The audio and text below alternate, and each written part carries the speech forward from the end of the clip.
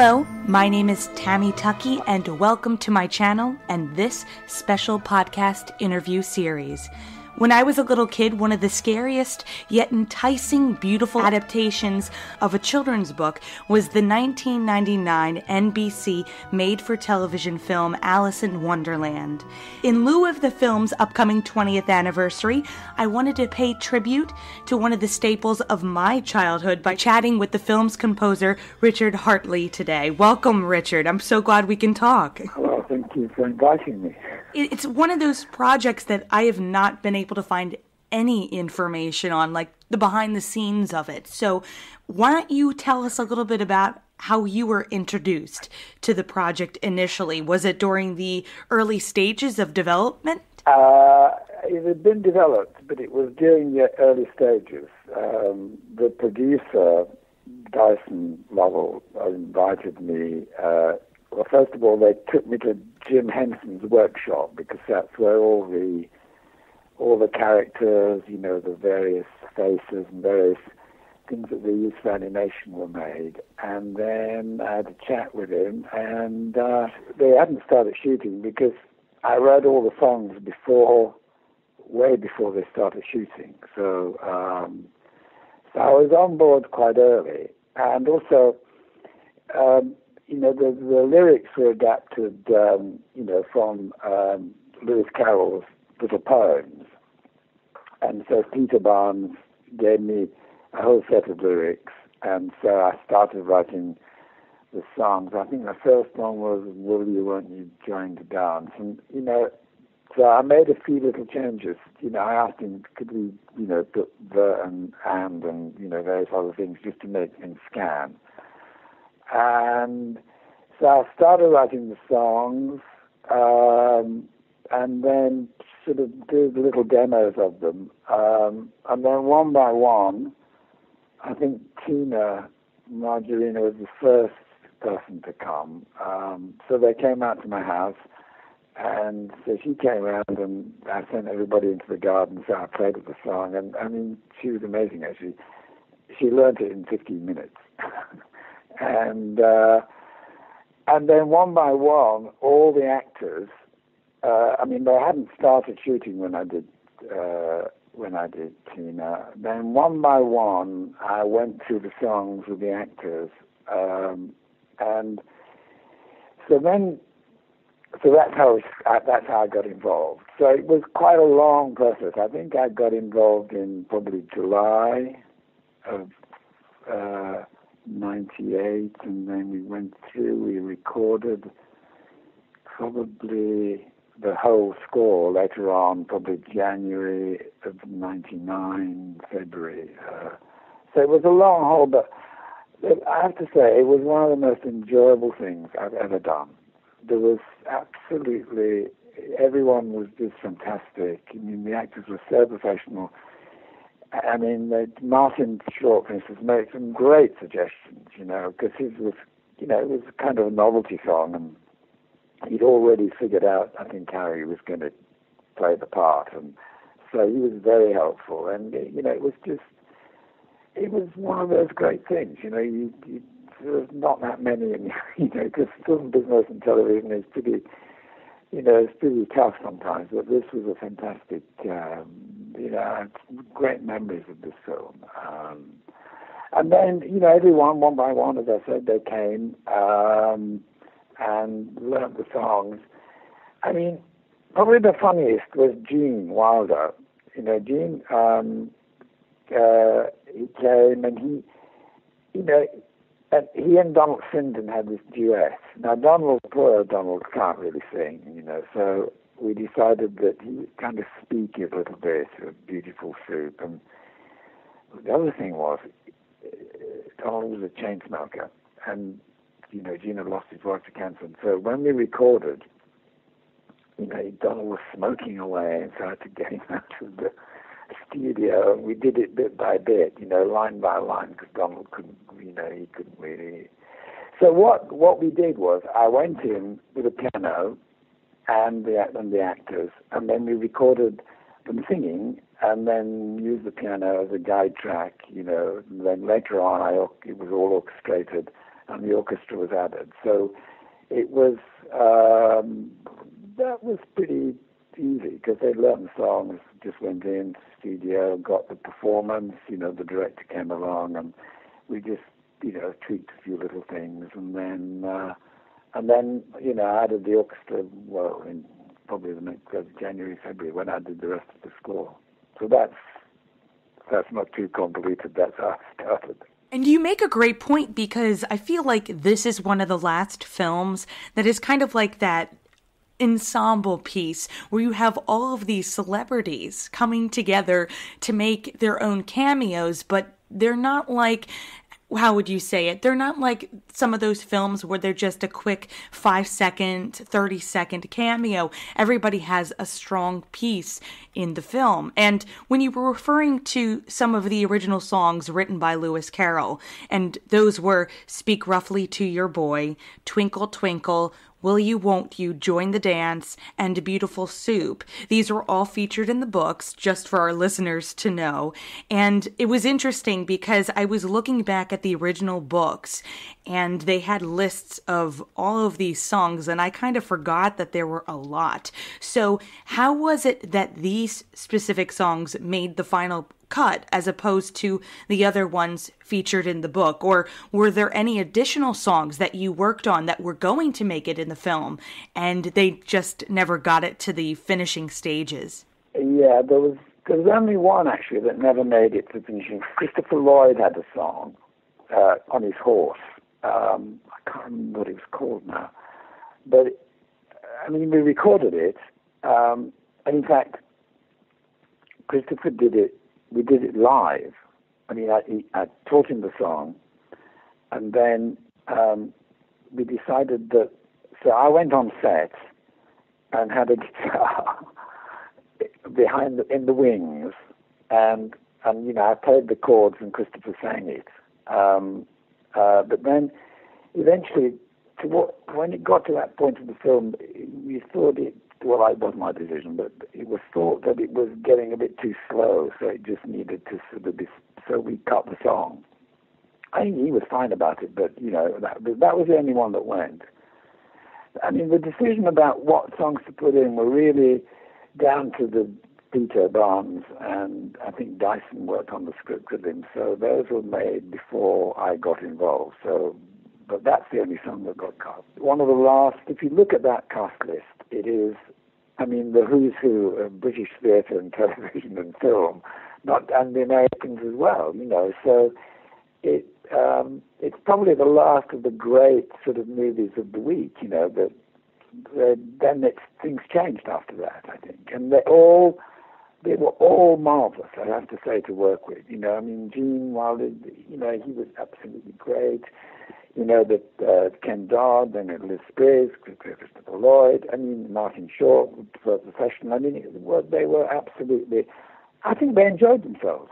Look, it's not a, well often get a chance to partly make a fool of yourself and also be absolutely outrageous um, in such a short space. You know, you don't, you it's, I mean, Miranda Richardson, for instance, is the queen, you know, she was absolutely, because I wrote she has this march. It's a peculiar little thing, marching, and I wrote that uh, probably ahead of time actually, and because we used that when we were playing at NBC, because we couldn't find anything that you know made a that matched a performance, you know, because it's a big performance in that film. A lot of people may not know this, but Alice in Wonderland was the second to last film that Gene Wilder starred in before his semi retirement from the entertainment industry. So, what was his initial thought process when you presented Beautiful Soup and Will You Won't You Join the Dance to him? Well, I'd, I'd sent him a demo um, of Beautiful Soup, and um, I, you know, I was slightly nervous with him, you know, because he, you know, he, he has such a track record, and you know, and he's a great comedian, and this wasn't really a comedy part as such, um, and so he, but so when he learned the song, so when he came when he came round to see me, he said, I said, okay, shall we? Uh, I'll play that. He said, no, no, don't play the piano. I'll just sing it how I think I should sing it, and then you tell me, well, you know, and that's how we started. So instead of, you know, because if you once you start accompanying someone, you there's a tendency to guide them in the direction A that you want or whatever direction. But so I thought that was a very, very clever thing to say because he sang the song and then I said, okay, right. And then we, we didn't make any changes to it, but we made changes to the tempo and, you know, it, it, became a very romantic song, which it is actually. Uh, and, uh, you went during the dance, he was so soft when he sang you know, it was very, very, uh, you know, because he could belt that song out like he has done in other things, but he didn't. You know, he just sort of. I said, "Do you want to do it like?" He said, "Yeah." I said, "Because I think that's the way it should be," and you know, we agreed. I think it was because it with beautiful soup, it, it is. It's a bit like a sort of an operatic aria, but without, you know, reaching to the sky. Uh, and I thought he sang it beautifully, actually. And Martin Short, he also has his long note for for Twinkle Twinkle, I believe, and um, yeah. and he also gets to sing Auntie's Wooden Leg, and just loud and obnoxious, but I love that. So rehearsal with him, everybody who I've you know talked to who has worked with him says that they adore working with him because he's just so funny and he really likes to deliver on whatever role he's playing. So what was that process like with him, just working on it to nail it? That we made a lot of changes when they were down to Martin actually. I'd written those two songs and um, he'd been filming that day, not that particular uh, not that particular scene, but something else. And he said during the filming, you know, he, he, had, he had this song in his head. And so we went into the studio and we kind of rewrote the songs in the studio, actually. I mean, we rewrote the phrasing and, and uh, you know, had a pianist there and we, you know, we got around the piano and we, so he said, well, you know, that could be a bit shorter, that longer. And so, you know, that, that was one of the few times where I think you know, he felt that he wasn't crazy enough the way that I had it originally. And he was right. I, you know, because that, you know, he was a man has to admit, he felt he could do more with it. And then, and of course, you know, he's steeped in sort of musical comedy and musical theatre. So um, I think he was absolutely right to insist, you know, he said, look, I think we can do this and that. I can't quite remember the details, but I do. I know we were there for quite a long time. So there was just the piano. Then we did all the guide track, and then I added stuff later on. But um, he, um, because you know, he's kind of a musical comedy actor, really, isn't he? I mean, that's his. You know, he's been on. You know, he's done shows on Broadway, and you know, but he was really, you know, he was quite. He wanted to be bolder, and I think he was correct. And also with Tina, because you were mentioning that she learned the Will You Won't You Join the Dance song very, very quickly. So did that take a couple takes or was that like a one take wonder? Uh, I think, well, when we rehearsed it, because actually the director was there, her mum was there, and the two producers, and anyway, so I said, well, look, you know, you go into the garden, you know, my house, and, and in London, I said, you know, I'll just work with you. So and they were thinking, oh, well, you know, this could take a while, so, you know, uh, a glass of wine, a cup of tea or something. And anyway, in 15 minutes, she learned it. And she was so quick. And, uh, you know, and so when we went into the studio, she didn't, I don't know, she seemed fearless. You know, some people, you put a microphone in front of them and, you know, they completely climb up, but she didn't do that. I think, uh, I don't know. And she'd not really done much before that, had she? I don't know. I, no. No, she had no singing credits before that either. And I thought she did a really good job. It was brilliantly cast, I think. And, you know, I think people like that sort of, you know, they come together and and they, you know, they know that although they're not acting in the same scenes others, but that they know that these people are going to be giving the biggest thing they can for the, you know, for that particular part because there's not really anything subtle in in the sense. I mean, there is, but you know, there's there's that joie de vivre that you get from that sort of ensemble piece, and I think uh, I think we got that definitely in this film. You know, it, there's not really there's not a dull moment really. I mean, and I think everyone, you know, stepped up to the plate. How long do you think that the initial score took to make for this film? Did you begin working on the score while you could see dailies and while you were visiting the set? Yeah, I did. Yeah, I started.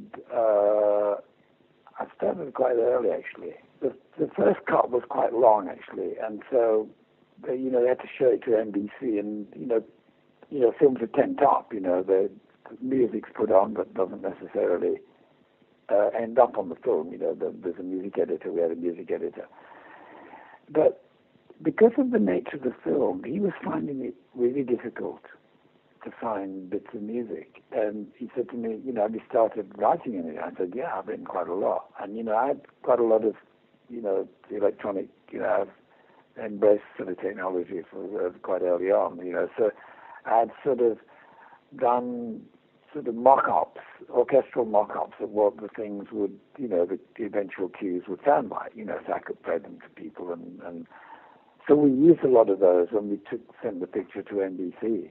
I mean, it could have been disaster, but anyway, they they seemed to like it, so that was that was okay. So yeah, so I worked uh, on and on. You know, it probably took about four months actually um, to do the yeah to do the score. It was uh, because there's a lot of music. It was interesting because when I was on iTunes, I just typed in the film and the album came up for the entire film, the soundtrack, and I was so excited. I just said yes. So I purchased the whole thing because I wanted to hear it for its own self because I feel like it's its own character in the film, the score which really supports that journey into Wonderland. And I really loved listening to it just by itself, you know, not with the visuals.